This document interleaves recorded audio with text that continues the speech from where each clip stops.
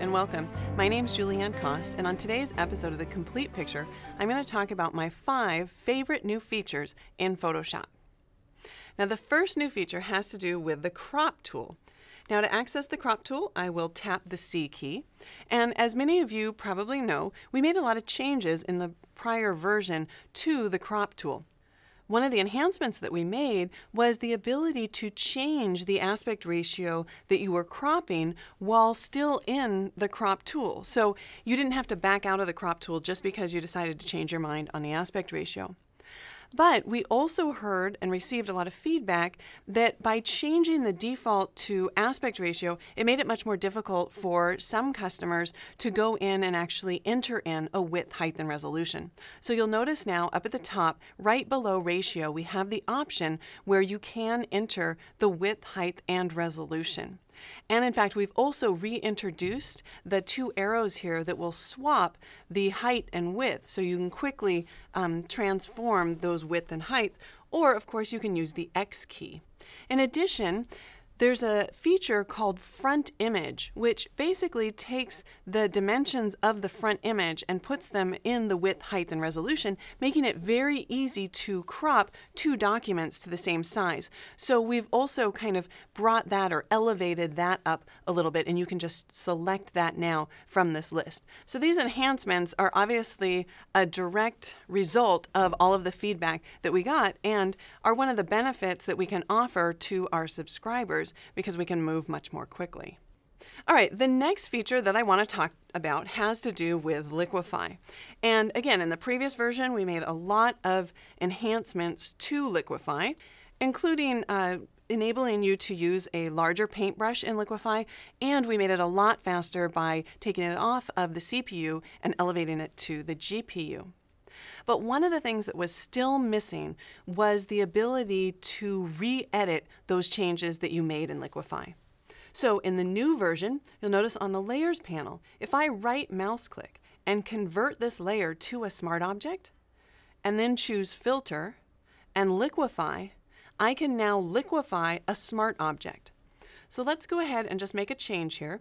Now I want to freeze this bottom area of the rock so I don't change it.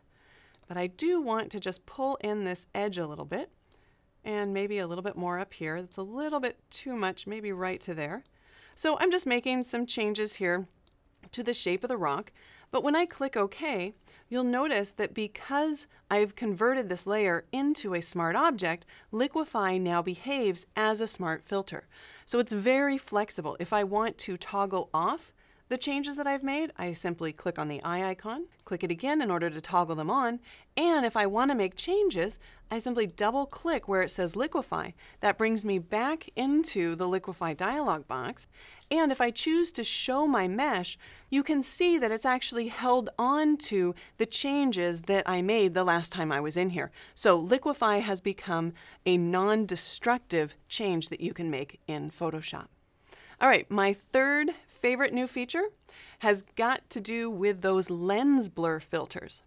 Very similar to Liquify, if I now right mouse click on this layer and convert it to a smart object, I can now go under the filter menu and sure enough, field blur, iris blur, and tilt shift are all available.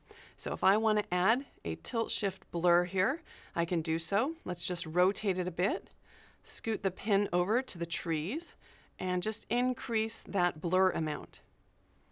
Now, when I tap enter or return in order to apply that, you can see here on the layers panel that because I was working with a smart object, that blur becomes a smart filter. If I want to make changes to it, I double click where it says blur gallery, and then we can update this non-destructively.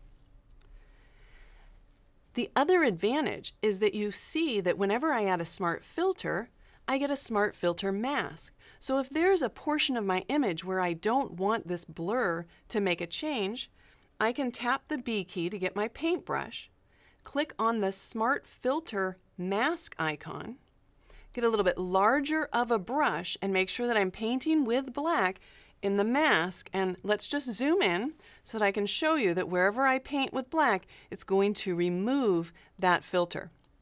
So it's just another way to make a non-destructive edit and give us a lot more control with the new blur filters. And of course, this also works with video. So let's do a file open in Photoshop. And I'm going to open this image sequence right here. Now, by default, when you open an image sequence, you get a video clip, but I can always convert that video clip into a smart object.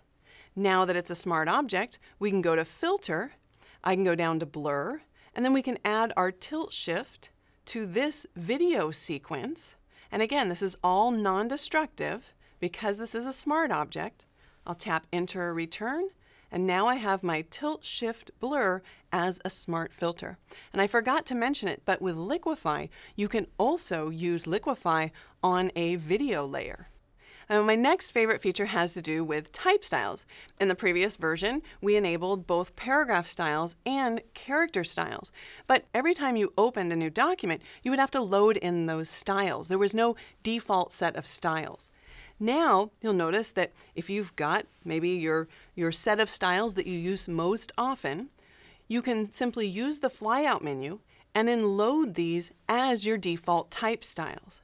And what that means is that from now on, whenever you open a document in Photoshop, a new document, these default type styles will be loaded and easily accessible. Now, if you open up a document that already has type styles in it, meaning like a legacy file or an existing file, then we're not going to automatically load the default type styles because we assume that you have the styles that you want in that set. If you want to add the default type styles to the styles that are in that document, you can always choose to load the paragraph styles. And we won't replace the ones that are in the document, we'll just append your default to that. In addition, if you open up an existing document that doesn't have any type styles in it, then we will automatically load your default type styles into that document. So that should make working with type a lot easier. And finally, my last favorite feature has to do with the Actions panel. So let me close all of my open documents here. And we're going to take a look at the new ability to add conditional actions. So what this means is if you have a large number of images and say some of them are in RGB or some of them are in CMYK or grayscale or maybe some of them have layered documents or maybe they're horizontal or vertical images, it's going to be much easier to run an action that says if the document is this type, then do this. Otherwise, do something else. So let me show you a quick example here. We'll look at my actions panel. You can see here that I've got two different actions that I've created because I want to add two different edges depending on if the image is horizontal or vertical. So for one set of images, I want to add a dark edge, and on another set of images, I want to add a light edge. So I've created those two actions. But let's say I've got, you know, 500 images that I want to run this on. Well, I don't want to have to choose all of my vertical images and run the first action and then select all of my horizontal images and run the action. So what I've done is I've created a conditional action. And let me just show you how to do that. I'll just click the new action, and we'll just call this test for now. I'll click record, and then you'll notice that from the flyout menu, we have a new option to insert conditional. So now we can see that if the current document has one of these attributes, then we can tell Photoshop to play a specific action. So for example, if my current document is landscape, I want Photoshop to play the Add Landscape edge. But if it's not landscape, then I'm going to assume that it's vertical and I'll want it to play the vertical edge. When I click OK, you can see the if-then or the conditional action has been added. All right, now we can just throw that away because that's the exact action that I have right here. So how would I run this? Well, I would go to File, Automate, and then choose batch.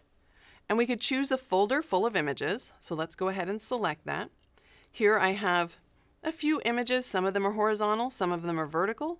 They've been exported at the correct size from Lightroom, so 4 by 6 at 300 pixels per inch. That happens to be the size of the edges that I'm using. So I'll select Choose.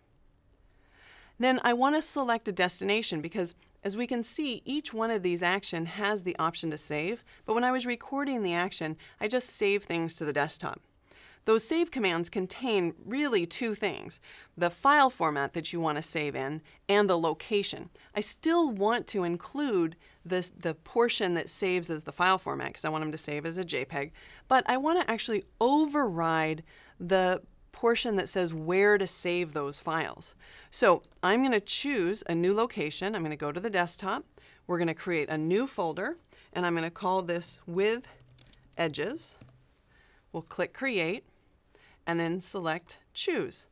So now I'm telling Photoshop to override the action save as commands, like don't save it on the desktop, save it instead in this folder, but still save as a JPEG file. Excellent. Now when I click OK, you can see Photoshop is going to open up each one of those images and it's going to play the correct action. So if I just open them up here in Bridge and move through them, we can see in the preview area that depending on whether the image was horizontal or vertical, it has either a dark or a light edge. So I think that's going to save photographers a lot of time when they're batch processing. And of course, there are additional new features specifically targeted towards our design segment. For example, you can now load swatches from an HTML document, a CSS document, or an SVG document. You can also copy CSS from a single layer or a layer group in Photoshop, copying attributes like text attributes, like character or paragraph attributes, or shape attributes. And so that should make the handoff from the designer to the developer much more efficient. In addition, we've made enhancements to 3D, and of course, we have the Retina display support for the Mac. So, lots of new features. I hope you'll check them out. My name's Julieanne Kost. Thanks for watching.